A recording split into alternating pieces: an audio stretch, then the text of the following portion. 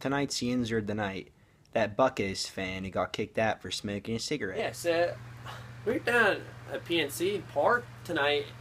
We were just uh, we had a couple beers, you know what I mean, just enjoying the game. And during the in break, we just decided, oh, smoke. Uh, you know, I seen the sign that said no smoking. Okay, and um, you know, I mean, some other guy had a smoke with him. Yeah, and like we were just like, all right, so we tested out. By the end of the uh, smoke, I I got a couple guys come up on me and they just. I mean, it's not like I committed a crime, you know what I'm saying? I mean, I'm just trying to have a smoke, you know, having a good time. And, you know, when there's 44,000 other people, you know, you, you got to think that at least one or two of them, you know, have smokes, you know what I mean? So it's just like, why can't you support us, you know what I'm saying? That's all I'm saying. I mean, it's not that big of a deal, you know what I mean? So that's all. But they came up on me like I just uh, had a bomb or something. I didn't have no bomb, so.